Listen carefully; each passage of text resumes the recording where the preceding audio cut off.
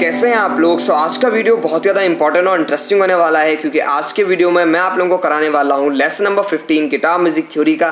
सो so, अगर आपने इससे पहले के 14 लेसन नहीं देखे तो आप लोगों को सबके लिंक्स नीचे डिस्क्रिप्शन में मिल जाएँगे।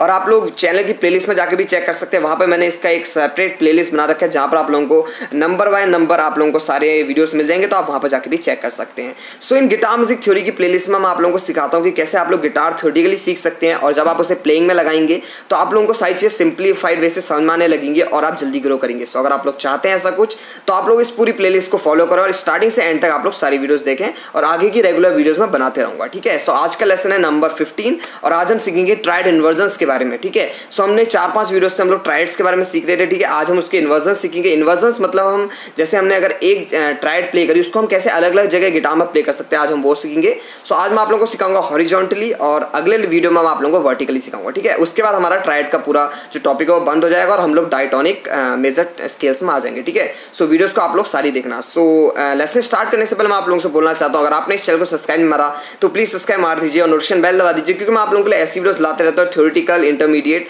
ठीक है? सो अगर आप लोग चाहते हैं ऐसी वीडियोस तो आप लोग इस चैनल को सब्सक्राइब मार सकते हैं और हर न्यू सॉन्ग का लेसन भी आप लोग को इस चैनल में मिल जाएगा। सो लेसन स्टार्ट करते हैं, हल्का सा क्लोजअप लुक में आ जाते हैं गिटार के, ठीक है? जिससे हमें सारी चीज़ें साफ़ साफ़ दिखाई दें। So close up so so friends हम आ चुके हैं गिटार फ्रेड बोर्ड के क्लोजअप लुक में। सो लेसन स्टार्ट करते हैं। पिछले लेसन में हम लोगों ने बात करी थी ट्राइड्स के बारे में। चार टाइप के triads major triad minor triad diminish triad और आर्ग्यूमेंटेड ट्राइड के बारे में, ठीक है? सो आज मैं आप लोगों को एक ट्राइड के एग्ज़ाम्पल से आप लोगों को सारे जो इन्वर्जन है वो सिखाऊँगा और आप लोग बिल्कुल सेम फॉर्मूले से सारे ट्राइड्स के इन्वर्जन निकाल सकते हैं, ठीक है? सो मैं आप लोगों को जो एग्ज़ाम्पल के तौर पर आज जो यूज़ करने वाला हूँ वो है मेजर ट्राइड तो आप लोगों को पता होना चाहिए कि कैसे बसता है मेजर ट्राइड और आप लोगों ने पहली वीडियोज़ देखी होनी चाहिए, तभी आप लोगों को आज ये वीडियो समझ आएगी, ठीक है? सो मेजर ट्राइड आप लोगों को कुछ ऐसे बसता है हल्का सा आप लोगों को रिवाइज के लिए जिन लोगों ने ये वीडियोस देखी हैं जिनने नहीं देखी है उन लोगों को ये वीडियो बिल्कुल समझ नहीं आने वाली सो प्लीज़ पहले पुरानी वीडियो जाके देख लेना ठीक है सो मेजर टाइड आप लोगों को कुछ ऐसे बसता है मेजर टाइड में आप लोगों को तीन नोट्स की ज़रूरत होती है सबसे पहला नोट होता है आप लोगों का रूट नोट फिर होता है आप लोगों का थर्ड नोट फिर होता है आप लोगों का फिफ्थ नोट मेजर स्केल के ठीक है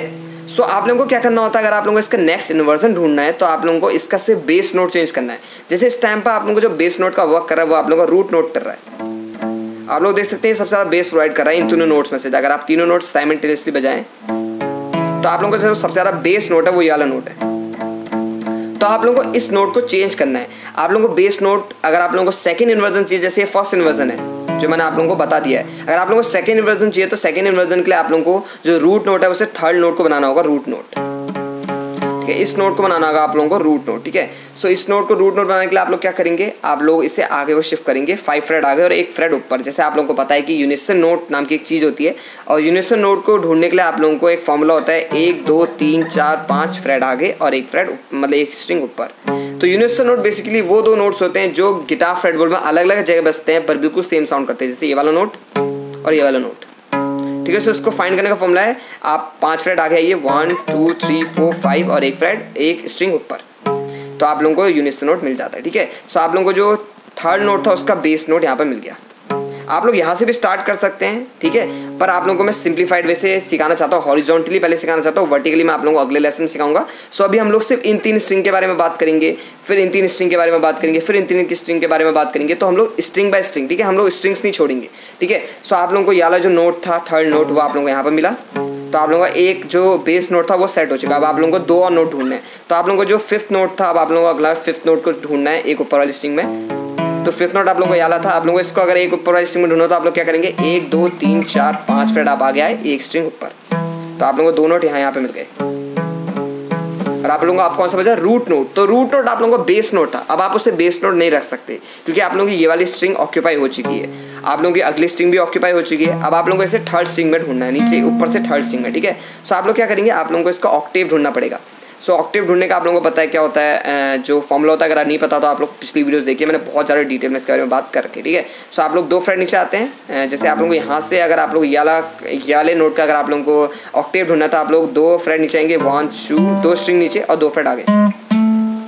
तो आप लोगों को उसका ऑक्टेव मिल। जाता तो ऑक्टेव बेसिकली जैसे अगर आप सारे गामा बजाते हैं तो जो दो सा होते हैं इसके हम ऑक्टेव कहते हैं। ठीक है सो आप लोगों को जो तीन नोट मिल गए, ये वाला आपको मिल गया थर्ड नोट ये वाला आपको मिल गया फिफ्थ नोट और इसके नीचे वाला जस्ट आपको मिल गया रूट नोट तो आप लोगों को जो नेक्स्ट इन्वर्जन होगा वो ये हो गया।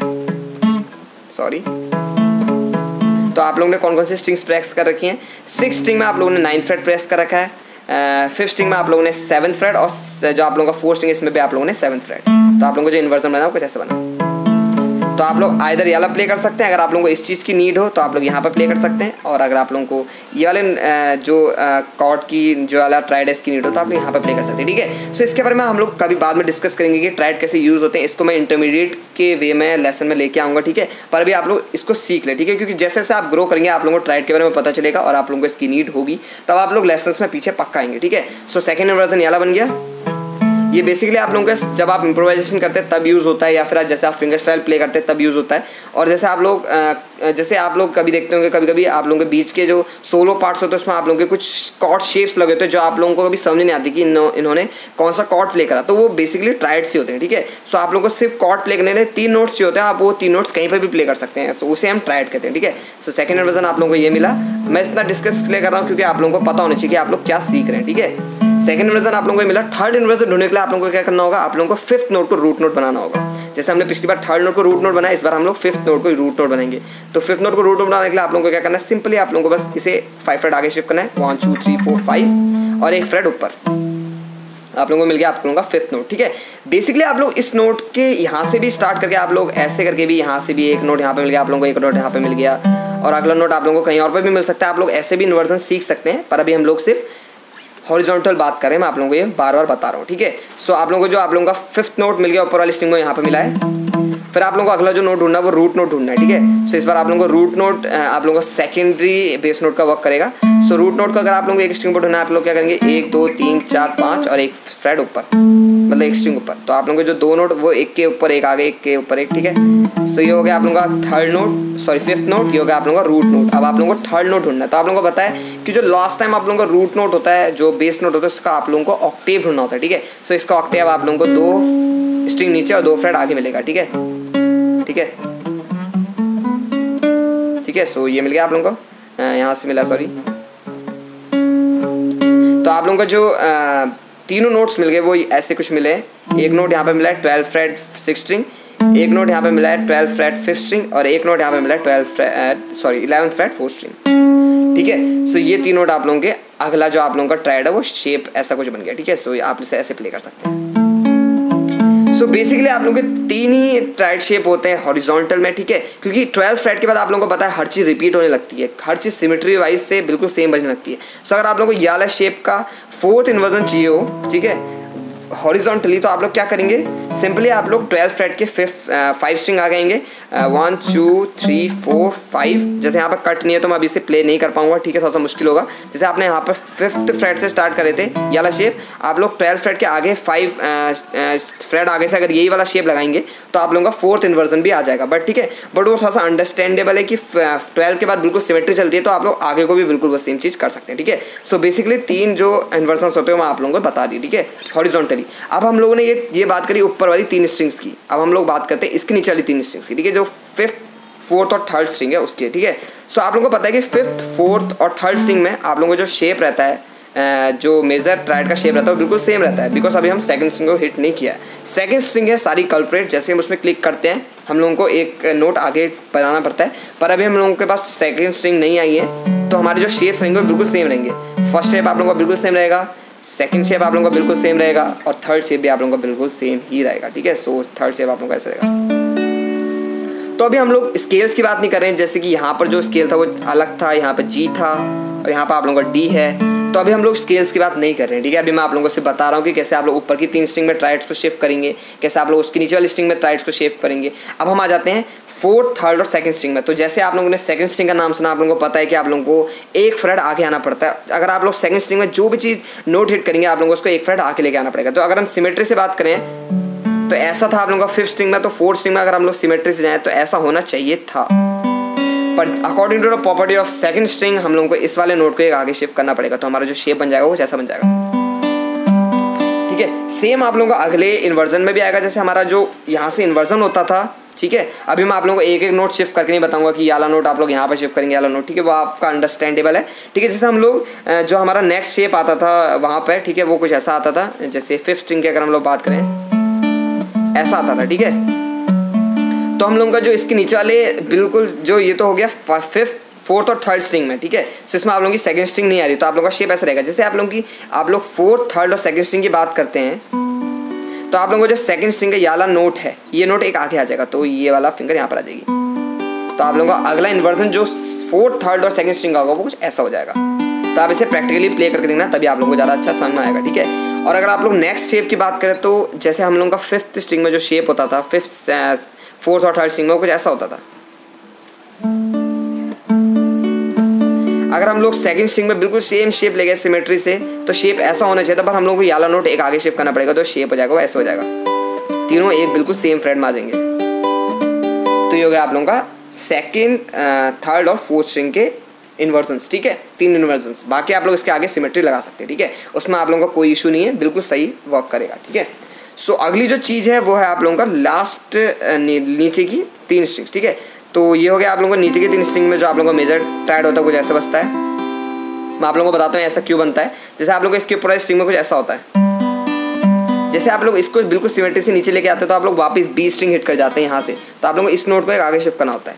तो यहाँ ये नोट जो शेप होता है, कुछ ऐसा बन जाता है। मैं हल्का सा आप लोगों को रिवाइज देते रहना पिछला, कि जिससे आप लोगों को क्लेरिफाई होते रहे।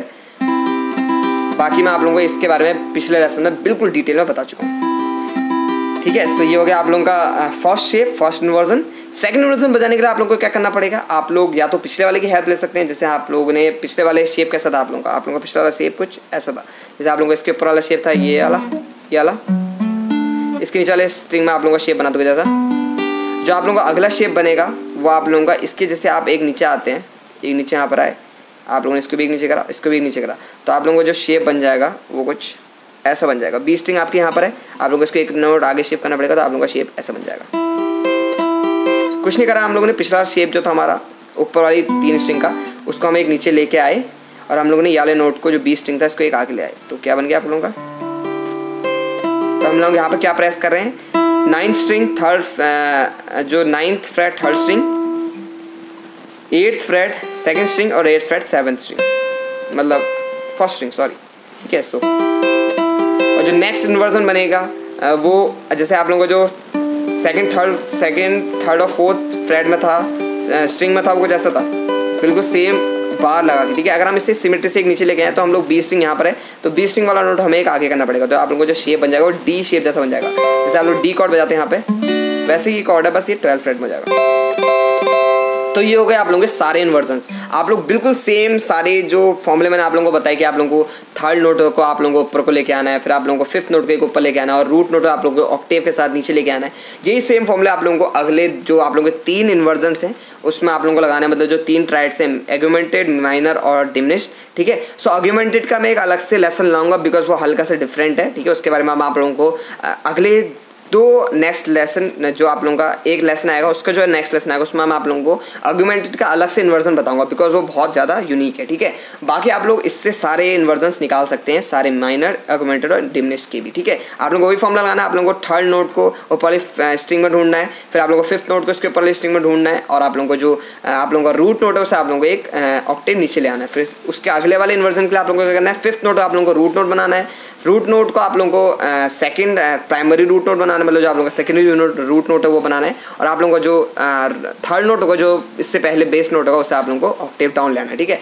सो ऐसे करके आप लोग सारे इन्वर्जन निकाल सकते हैं। सो आज की वीडियो के लिए इतना ही। अगर आप लोगों को ये वीडियोस पसंद आए तो प्लीज़ इस वीडियो को लाइक मारना चैनल को सब्सक्राइब करने के लिए आप इस सर्कल में क्लिक मार सकते हैं। बाकी की वीडियोस देखने के लिए आप इन बॉक्सेस में क्लिक मार सकते हैं। बेस्ट वीडियो आप लोगों को यहाँ पर मिल जाएगी और आप लोगों को यहाँ पर पूरी प्लेलिस्ट भी मिल जाएगी। तो क्लिक मार के आप लोग प्लेलिस्ट भी चेक कर सकते हैं। तो अब रेगुलर वीडियोज़ आते रहेंगी बिकॉज़ मैं बहुत दिनों से वीडियोस नहीं डाल रहा था। सो मैं आप लोगों से मिलता हूँ किसी अगले लेसन में। अच्छे से तिल धन बाय जय हिंद।